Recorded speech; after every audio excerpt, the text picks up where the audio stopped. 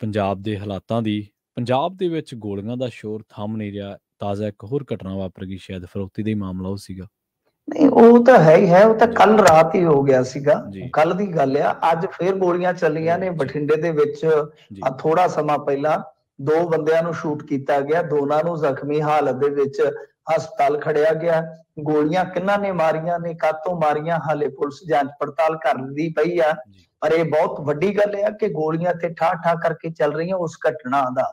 ਜਿਸ ਘਟਨਾ ਦਾ ਤੁਸੀਂ ਜ਼ਿਕਰ ਕੀਤਾ ਵਾ ਉਹਦਾ ਇੱਕ ਹੋਰ ਜ਼ਖਮੀ ਜਿਹੜਾ ਸੀਗਾ ਪੁਲਿਸ ਗਨਮੈਨ ਜਿਹੜਾ ਸੀਗਾ ਉਸ ਬੰਦੇ ਦਾ ਵਪਾਰੀ ਦਾ ਉਹ ਵੀ ਚੱਲ ਵਸਿਆ। ਤਾਂ ਟੋਟਲ ਦੋ ਮੌਤਾਂ ਹੋਈਆਂ ਨੇ ਦੋ ਸ਼ੂਟ ਇੱਥੇ ਕੀਤੇ ਗਏ ਨੇ ਬਠਿੰਡਾ ਦੇ ਵਿੱਚ ਪਲੱਸ ਇੱਕ ਫਗਵਾੜੇ ਦੇ ਲਾਗੇ ਕੋਈ ਪਿੰਡ ਹੈ ਸ਼ਾਇਦ ਪਾਸ਼ਟਾ ਕੁਛ ਐਸਾ ਪਿੰਡ ਦਾ ਨਾਮ ਆ। ਤਾਂ ਉੱਥੇ ਵੀ ਇੱਕ ਬੰਦੇ ਨੂੰ ਸ਼ੂਟ ਕੀਤਾ ਗਿਆ। ਹਾਲਾਂਕਿ ਵਧੀ ਸੀ ਉਹਦੀ ਮਤਲਬ ਕਿ ਉਹ ਸੀ ਵਧੀ ਨੇ ਬਚਾ ਲਿਆ ਉਹਨੂੰ ਪਰ ਉਹਨੂੰ ਵੀ ਸ਼ੂਟ ਕੀਤਾ ਗਿਆ। ਗੋਲੀ ਕਿਤੇ ਇੱਕ ਥਾਂ ਤੇ ਨਹੀਂ ਚੱਲੀ। ਗੋਲੀ ਇਹਨਾਂ 24 ਘੰਟਿਆਂ ਦੇ ਦਰਮਿਆਨ ਕਈ ਥਾਵਾਂ ਤੇ ਚੱਲੀ ਆ। ਤਾਂ ਐਸਾ ਕਿਉਂ ਹੋ ਰਿਹਾ ਕਾਤੋਂ ਹੋ ਰਿਹਾ? ਤਾਂ ਬੜਾ ਹੁਣ ਇੱਕ ਤਰ੍ਹਾਂ ਨਾਲ ਕਹਿ ਲਓ ਕਿ ਗੁੰਝਲਦਾਰ ਵਿਸ਼ਾ ਬਣ ਗਿਆ। ਪਰ ਕਿਤੇ ਵੀ ਜੇ ਦੇਖੀਏ ਤਾਂ ਇਸ ਵੇਲੇ ਪੁਲਿਸ ਦਾ ਡਰ ਨਹੀਂ ਹੈਗਾ।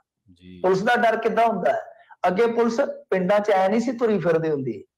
ਸ਼ਹਿਰਾਂ 'ਚ ਐ ਨਹੀਂ ਸੀ ਤੁਰੀ ਫਿਰਦੀ ਹੁੰਦੀ। ਜੀ। ਪਰ ਜਦੋਂ ਪੁਲਿਸ ਦੀ ਥਾਣਿਓਂ ਜਿਪਸੀ ਨਿਕਲਦੀ ਹੁੰਦੀ ਸੀ ਨਾ ਪ੍ਰਵੀਨ ਜੀ ਜੀ ਜੀ। ਤੇ ਬਾਜ਼ਾਰਾਂ 'ਚ ਰੇੜੀਆਂ ਖਿਸਕਣੀਆਂ ਸਟਾਰਟ ਹੋ ਜਾਂਦੀਆਂ ਸਨ ਪੁਲਿਸ ਦਾ ਇੰਨਾ ਦਾਬਾ ਹੁੰਦਾ ਸੀ। ਹੂੰ, ਚੰਗਾ ਥਾਣੇਦਾਰ ਘੈਂਟ ਥਾਣੇਦਾਰ ਹੁੰਦਾ ਸੀ ਤੇ ਸੜਕਾਂ ਤੋਂ ਬੱਸਾਂ ਥੱਲੇ ਹੋ ਜਾਂਦੀਆਂ ਸਨ ਇੰਨਾ ਦਾਬਾ ਹੁੰਦਾ ਸੀ। ਜੀ। ਹੁਣ ਪੁਲਿਸ ਪੁਲਿਸ ਤੁਰੀ ਫਿਰਦੀ ਹੈ ਕਰ ਕੁਛ ਨਹੀਂ ਸਕਦੀ ਕਿਸੇ ਦਾ। ਹੂੰ, ਕਿਉਂਕਿ ਅੱਗੋਂ ਲੋਕ ਪੈ ਜਾਂਦੇ ਆ ਅਵੇਅਰ ਨੇ ਲੋਕ ਮੈਂ ਨਹੀਂ ਕਹਿੰਦਾ ਕਿ ਉਸ ਟਾਈਮ ਜੋ ਪੁਲਿਸ ਧੱਕਾ ਕਰ ਰਹੀ ਸੀ ਉਹ ਜਾਇਜ਼ ਆ।